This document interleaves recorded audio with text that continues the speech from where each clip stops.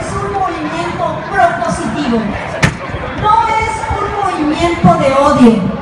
No estamos en contra de las personas con atracción al mismo sexo.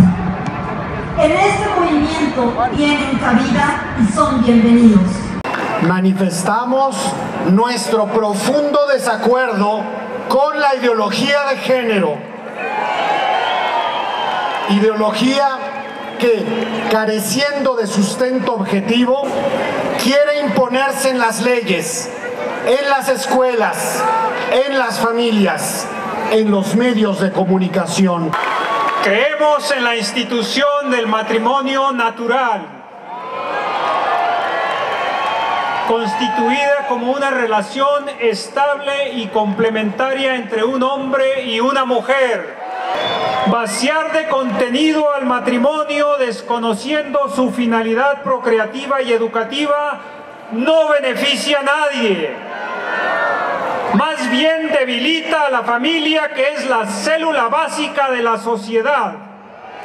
Reconocemos el derecho de los niños a tener papá y mamá. La adopción no es un derecho de los adultos, es un derecho de los niños. Defendemos el derecho que tenemos los padres de familia a la educación de nuestros hijos.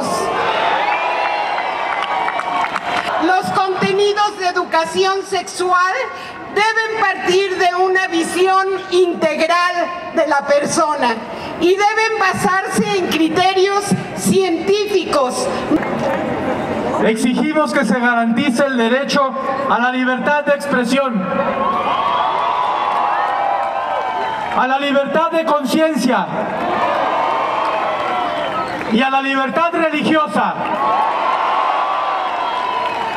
Convocamos a un diálogo nacional para seguir expresando libremente nuestras ideas, contrastar nuestras posturas, encontrar los puntos de acuerdo y confluencia porque sabemos en lo que creemos y sabemos lo que tenemos.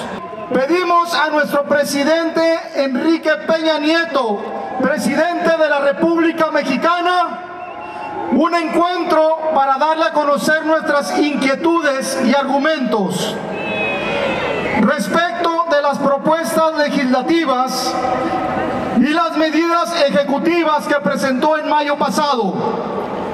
Pedimos a los legisladores aprobar la primera iniciativa constitucional ciudadana en la historia de México. A partir de este momento nos constituimos en un movimiento cívico permanente